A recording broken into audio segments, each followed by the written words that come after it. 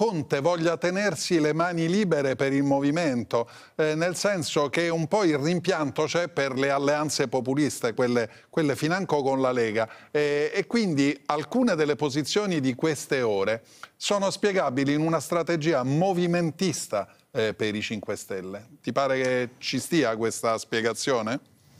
Ma guarda, allora secondo me eh, Conte in questo momento è come Jepp Gambardella eh, nella grande bellezza, cioè lui si è messo addosso la giacca gialla e legittimamente lui non vuole partecipare al campo largo, lui vuole avere il potere di farlo fallire. Perché? Questa non è una critica, è un'osservazione. Lui sa che in questo momento, eh, qualora si formasse il campo largo, lui sarebbe il secondo protagonista, eh perché certo. sondaggi alla mano, elezioni alla mano, la Schlein ha più voti. Non è detto che li abbia la Schlein, ma comunque il PD. Conte, giustamente, dal suo punto di vista, vuole tornare a fare il Presidente del Consiglio.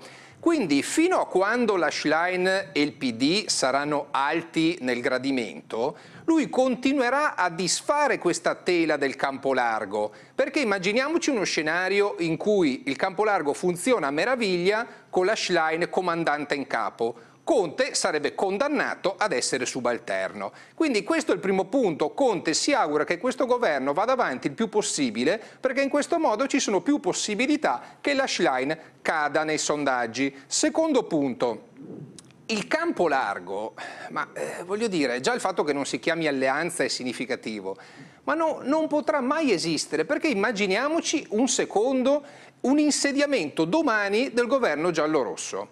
In politica estera, quindi non su questioni eh, secondarie, sono totalmente divisi. I 5 Stelle, non entro nel merito, hanno una posizione, il PD ne ha totalmente un'altra. Peraltro il PD in politica estera al Parlamento europeo ha otto posizioni diverse su 21 eurodeputati sono divisi sul referendum sulla cittadinanza, perché Conte non ne vuole sapere, neppure Calenda, mentre PD e Bonelli e Fratoianni eh, eh, hanno eh, sottoscritto eh, la raccolta firme.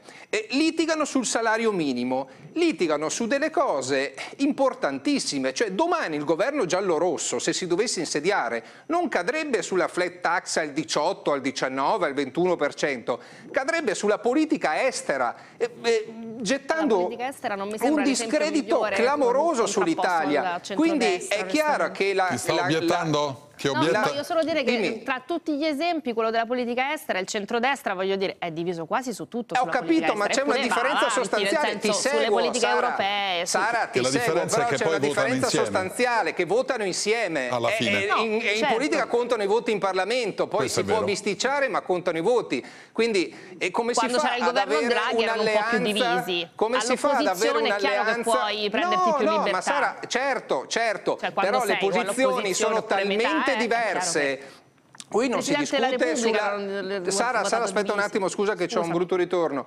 E, e, non stiamo parlando, come dicevo prima, di quisquiglie che vabbè si litiga, ci si mette d'accordo, no?